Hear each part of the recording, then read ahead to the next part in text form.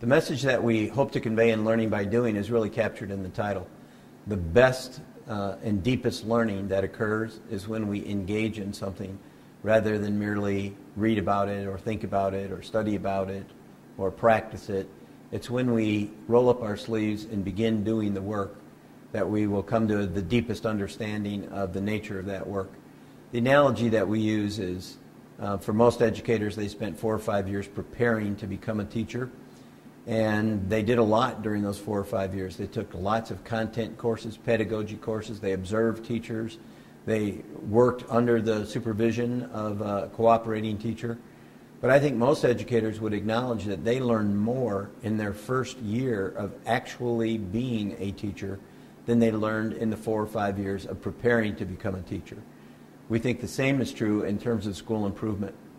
You can certainly learn a great deal, and we encourage you to read about it and go to conferences, but your deepest learning will occur when you engage in the process. So don't wait for all the stars to align. Don't wait for one more conference or one more book. The way that you're going to learn how to become a professional learning community is by beginning to try to do what learning communities do. Don't expect perfection, just shoot for progress.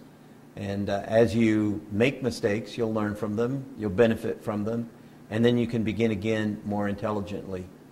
Niels Bohr is a Nobel um, Prize winning physicist, and he said that an expert in any field is someone who's made every mistake there is to make in a very narrow field.